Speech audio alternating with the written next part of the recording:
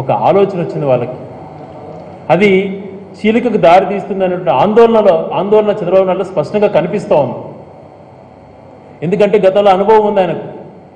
ఈ వెన్నపోటు రాజకీయాలు ఎలా చేశాడో ఎలా ఎవరిని పసిగట్టాలో అటువంటి ఆలోచన తనకు ఉన్న గతంలో ఎంటర్ చేశారు కాబట్టి ఇప్పుడు తను పసిగడుతున్నాడు తనను కూడా దగ్గరలో దించేస్తున్నారు అన్నటువంటి ఆందోళనతో ఇష్టం వచ్చినట్టు సంబంధం లేని మాటలు మాట్లాడుతూ రాష్ట్రాన్ని నేను సర్వనాశనం చేయాలంటే కంకణం కట్టుకొని మాట్లాడుతున్నాడు.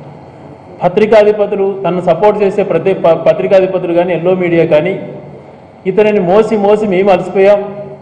ఇతను మోయటం వలన మాకు వచ్చేటువంటి లాభం కూడా కనిపించట్లేదు ఎంత మోసినా కూడా ఈయన పికప్ అయ్యేటువంటి అవకాశం ప్రజలు ఇతను నమ్మే పరిస్థితులు లేరు అటువంటి ఆందోళన వాళ్ళలో కూడా కనిపిస్తోంది. వాళ్ళలో ఆందోళన కనిపిస్తోందని చెప్పి ఆయన పసిగట్టాడు. అందుకోసము రోజు పిలిపించుకోవడము మాట్లాడుకోవడము ప్యాకేజీలు చెప్పుకోవడము ఏదో రకంగా ప్రజలను తప్పుదోవ పట్టిస్తాము ఏదో రకంగా నన్ను హైలైట్ చేయండి అనేటువంటి మాట్లాడేటువంటి స్థితికి తీసుకొచ్చాడు. ముగ్గురు పార్లమెంట్ సభ్యులు ఇరవై మూడు మంది ఎమ్మెల్యేలు తనకున్నారు పార్టీకి. అందులో ఇద్దరు ఎమ్మెల్యేలు తన విధానాలు వచ్చాక బయటకు వచ్చారు. ఇరవై ఒక మంది శాసనసభ్యులు ఉన్నారు. ఇంకా లో అలా చూస్తే కౌన్సిల్ కూడా రద్దయిపోయింది తన కుమారుడికి కూడా పదవి పోయింది. ఈ కౌన్సిల్ రద్దయిన వాళ్ళంతా కూడా ఎక్కడ ఇతని వల్ల రద్దయిందని చెప్పి వాళ్ళందరూ ఇతని పైన ఆగ్రహం వ్యక్తం చేస్తారని భయాందోళన ఒక పక్క. ఆ భయాందోళన తప్పించుకోవడానికి మీకు నెల నెల జీతం ఇస్తాను అని చెప్పేటువంటి చెప్పుకునే స్థితికి దిగజారాడు అని అంటే రాజకీయాలను ఏ రకంగా దిగజార్చడం అర్థం చేసుకోవాలి. మరొక పక్క లోకేష్కు నేను ఎప్పుడైనా ప్రత్యక్ష ఎన్నికలలో మన అధికారంలో ఉండి కూడా మనము ఎంతో రాజధాని నిర్మించినామని చెప్పుకొని కూడా మంగళగిరి లాంటి నిజగరంలో నేను ఓడిపోయాను.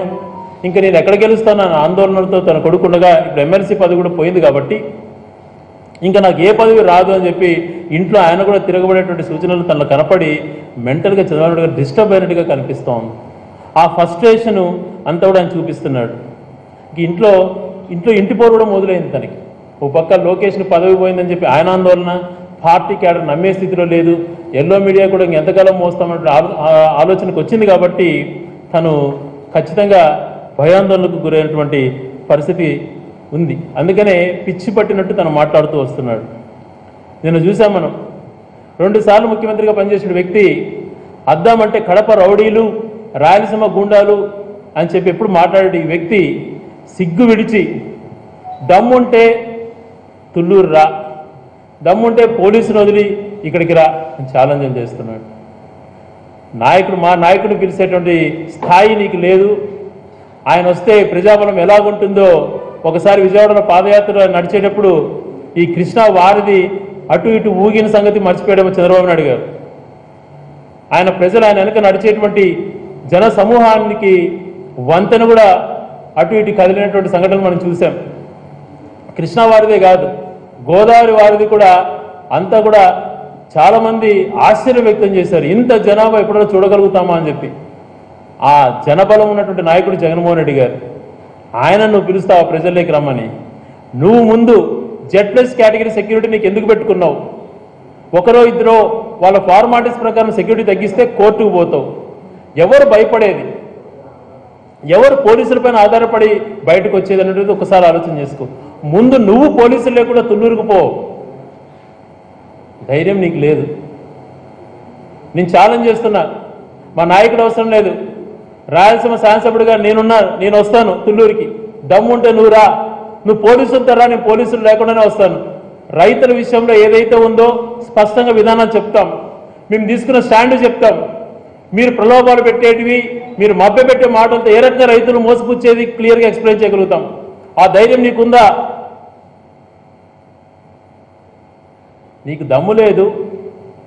తప్పుదో పట్టించే ఆలోచనలు దుర్మార్గంగా వివరించేటువంటి తీరు ఎంతసేపు ఏదో ప్రొజెక్ట్ చేసుకునేటువంటి విధానం. నీకు చిత్తశుద్ధి ఉంటే రైతులపైన ప్రేమ ఉంటే రైతుల సమస్యల గురించి ప్రస్తావించు. నీకు ఏ ప్రాంతం ఏదైనా పర్వాలా? మూడు గ్రామాల్లో నీ బినామీలు ఉన్నారు నీ పెట్టుబడులు ఉన్నాయనేటువంటి ఆందోళన చేస్తున్నావంటే మూడు గ్రామాలకు దిగజారినటువంటి నీ రాజకీయ భవిష్యత్తు సిగ్గుచేటు నీకు. రాష్ట్రంలో కృష్ణా జిల్లాతో పాటు గుంటూరు మిగిలినటువంటి పదకొండు జిల్లాల ప్రజలు అసహించుకుంటున్నారు నేను చూసి. వికేంద్రీకరణ ఎందుకు వద్దుంటున్నావు అని చెప్పి ప్రశ్నిస్తున్నారు. ఈరోజు మేము స్ప- స్పష్టంగా చెప్పగలుగుతాం. వికేంద్రీకరణ అన్నటువంటిది ఎంత అవసరము దేనికోసం చేస్తున్నారు ప్రజలు దాన్ని ఎలా స్వాగతిస్తున్నారు అనే దానిపైన ఎందుకు వికేంద్రీకరణ జరగాలి అనేటువంటి దానిపైన స్పష్టంగా చెప్పగలుగుతాం. వికేంద్రీకరణ ఎందుకు వద్దంటున్నావు నువ్వు చెప్పగలుగుతావా? రాజధాని పెట్టుకోవడానికి విశాఖపట్నం అనువు కాదు అని చెప్పి అక్కడ మీరు చెప్పగలుగుతావా?